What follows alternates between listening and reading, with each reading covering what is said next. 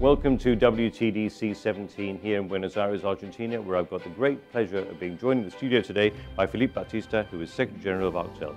Filipe, thank you very much for being with us in the studio today. Thank you for having me.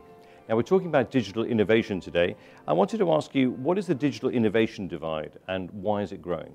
If you remember, a few years ago, we had uh, uh, the digital divide, which, is, uh, which was uh, a more broader sense. Uh, uh, now we are talking about innovation, innovation divide because we've been tend to forget that beside getting broadband to, to people and giving access and connectivity to people, we should not forget what comes with that.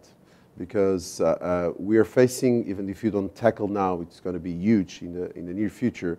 We're facing some problems because, I mean, we tend to, to deploy uh, uh broadband to, to places and then we forget to, to bring innovation with it and to help people out to correctly use the access that we are providing in terms of broadband.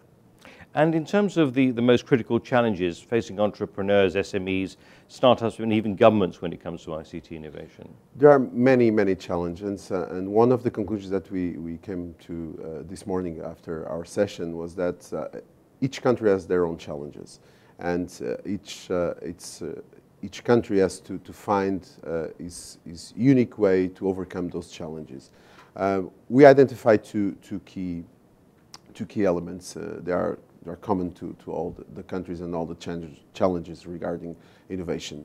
Uh, resources, and when I talk about resources, not only financial resources, it's all kind of resources. We're talking about human capacity building as well, and a commitment. It's very important that uh, all stakeholders uh, sit around the same table have the same language and address all the problems together because there's only one way to overcome the challenges with commitment uh, through all the stakeholders.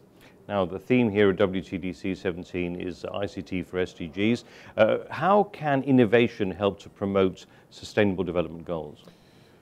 Uh, it can again, if there's, there's commitment from all stakeholders, I mean, uh, when we look at innovation and the impact that they can have on the SDGs, and especially SDG 9, uh, uh, innovation can be an enabler for uh, uh, a lot of things.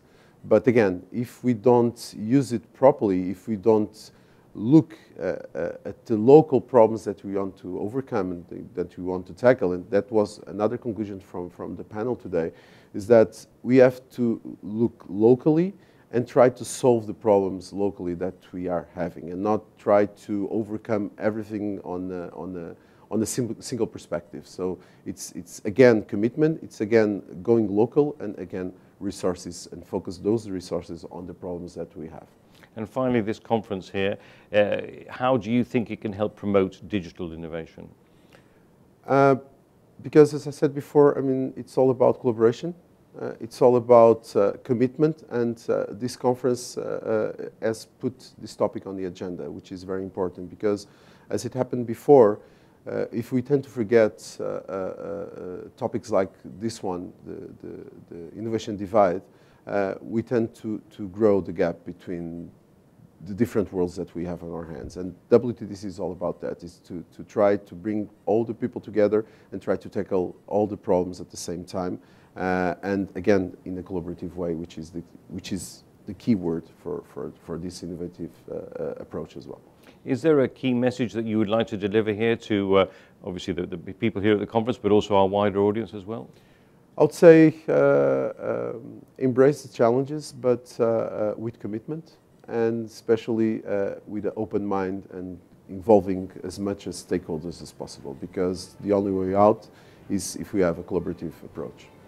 Great words. Well, thank you very much indeed for being with thank us in the much. studio today, and we look forward to catching up with you again sometime in the future. Yeah, thank pleasure. you. Thank you.